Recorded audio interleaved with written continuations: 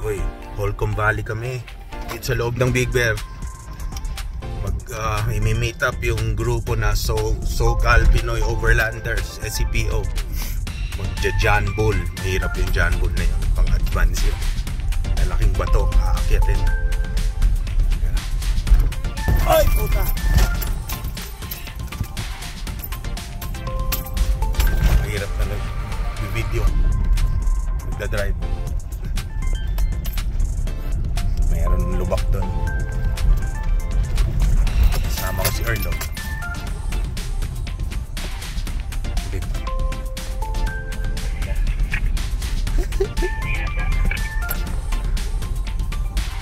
Dito na yung, andito na, andito na yung grupo. Ayan na. Mi-meet up namin sila. Ayan. Ayan, SCPO, may banner oh. Ayan na, ayan na, ayan na. Ang grupo to, mga walwalan to. Lalakas to mga to. Lifted lahat to. Bigat to.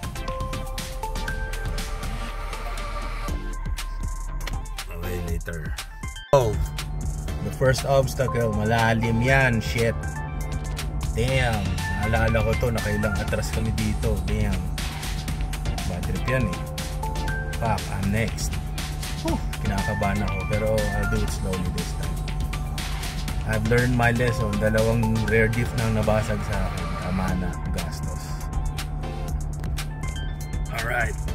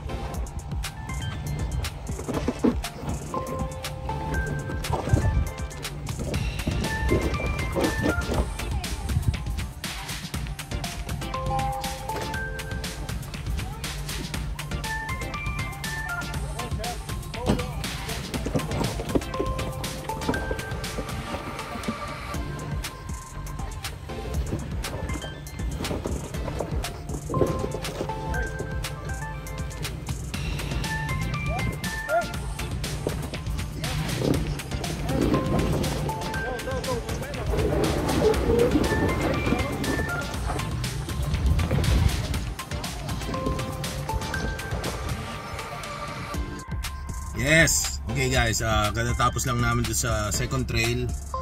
Uh, medyo nag, nag-winch na ako kasi yun na naman eh, tumatalon-talon na yung sasakyan ko. Pag inaapakan nyo yung gas, pinipilit nyo, medyo tumatalon-talon yung, yung gulong, tigil nyo, wag nyo na ituloy kasi yun ng differential nyo.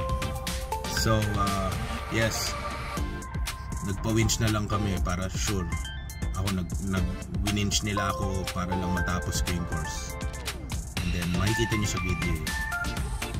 Alright next to the third one. Yung third one doon medyo yon doon kami nahirapan. Yung last time na nandito kami sa Gold Mountain kami dalawa lang ni noon so medyo doon doon na nabingkong yung gas tank ko. So yung gas tank ko medyo may bingkong sa ilalim dahil ang daming boulders namin dinaanan. So sumabit yung yung hitch ko sa likod, gas gas gas gas, tapos yung gas tank ko nga nabingkong dahil ang lalaki ng boulders.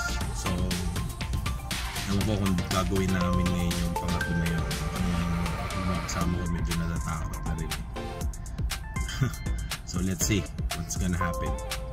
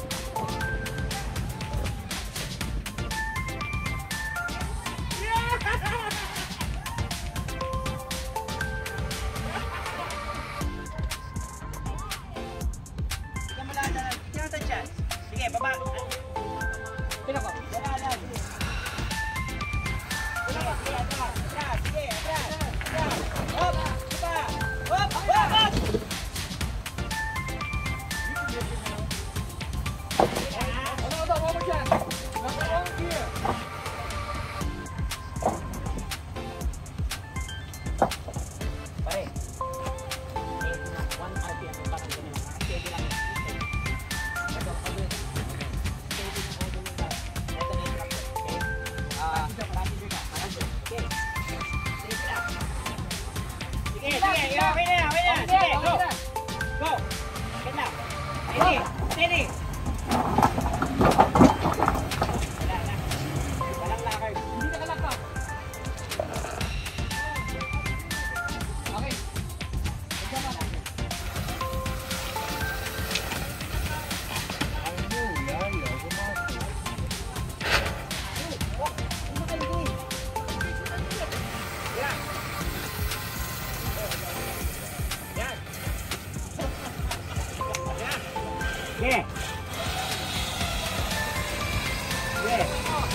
Drive ka, hindi park ha. Tulungan mo, gas.